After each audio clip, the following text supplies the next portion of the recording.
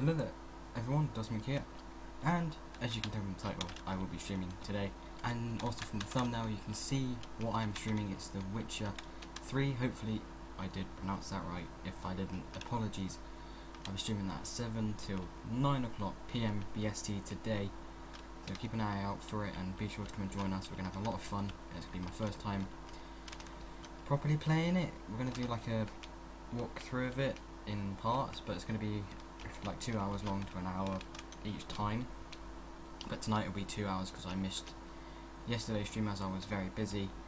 and so um, so yeah, be sure to come and join us.